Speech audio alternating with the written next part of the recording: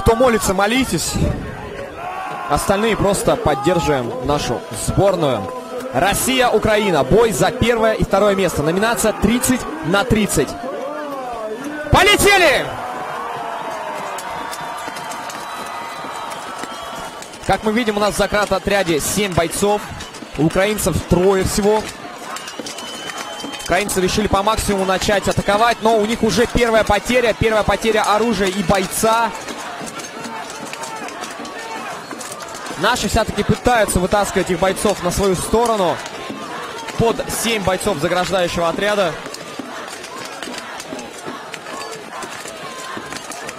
Ну, тут дело не в своей половине, тут дело вообще в расстоянии. То есть, представляете, если они станут сразу в своей половине, естественно, ближе бежать, они украинцев сразу прижмут.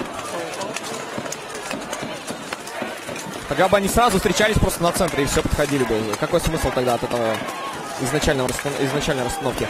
Мы видим, что падают бойцы наши, падают бойцы украинские.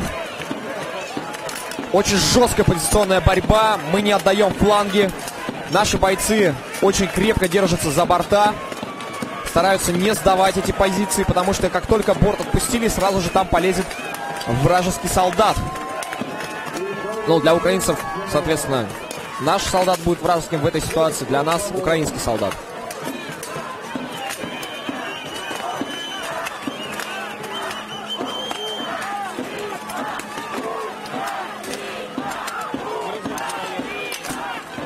Давайте, давайте, давайте, парни, подсверитесь и устройте настоящий разгром друг другу.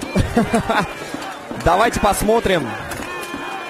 У каждой команды есть э, 100% тактика. Они ее придерживаются и они стараются ее воплотить в жизнь.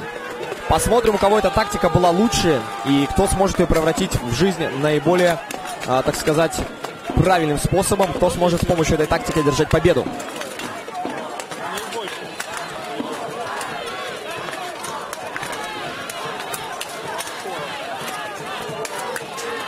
Меня появилась новая кричалка, но я ее не буду озвучивать. Она, она хорошая, она хорошая, просто она слишком для меня э, личная.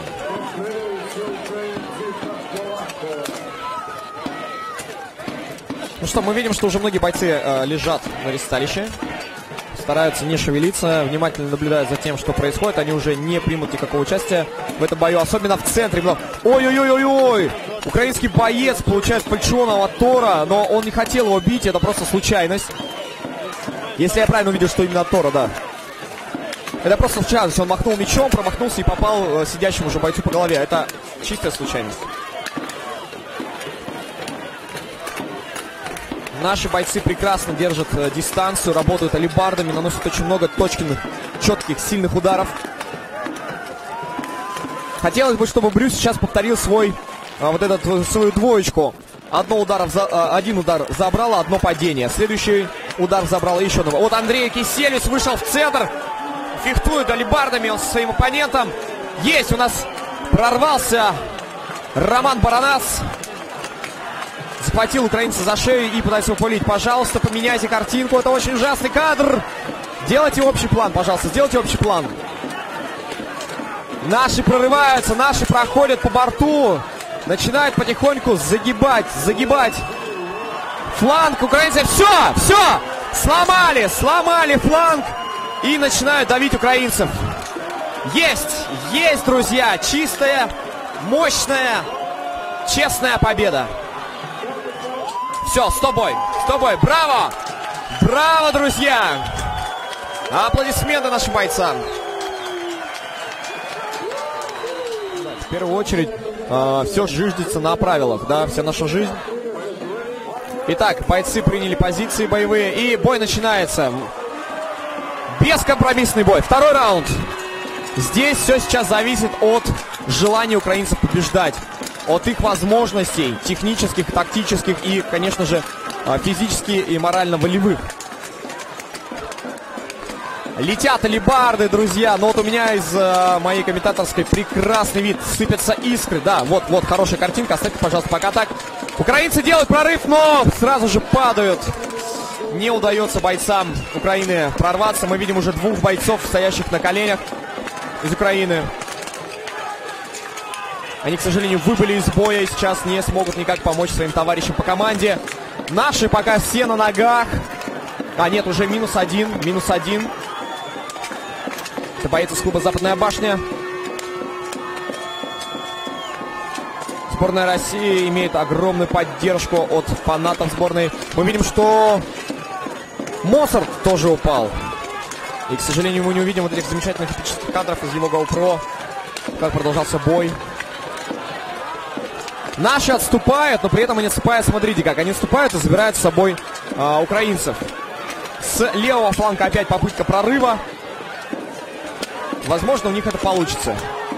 А, к сожалению, не получилось. Ну, э, как бы фраг-то они взяли, но сами упали, ребята.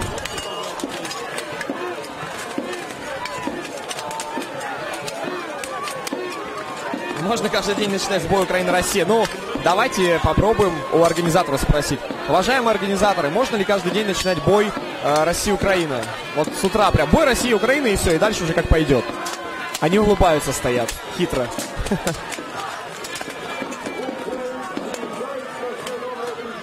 Ну что, друзья, если вы будете, конечно, донатить нам там миллионы, то будем каждый день вам устраивать бой Украина-Россия. Прям каждый день.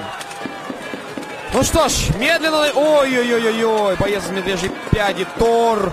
Спотыкается и падает. Очень удачно. Евгений Гладков мы видим. Высоченный боец с огромной э, палкой, на которой насажено топорище. Ищет себе жертву. Ходит, ходит, высматривает. Сейчас остановится Евгений. Ты как тащит в голову. Украинцы потеряли очень много бойцов. Украинцев все очень плохо по количеству бойцов. Это печально для них. Но наши ребята пока что не стараются делать раши. Они их потихонечку-потихонечку себя втягивают. Но вот... Вот кто-то из наших ребят прорывается, нападает с тыла на украинцев.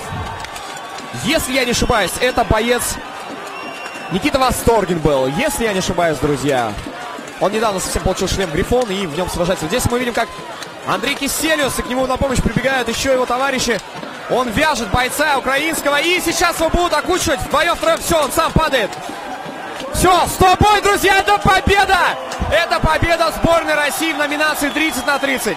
Еще одна золотая медаль в нашей копилке.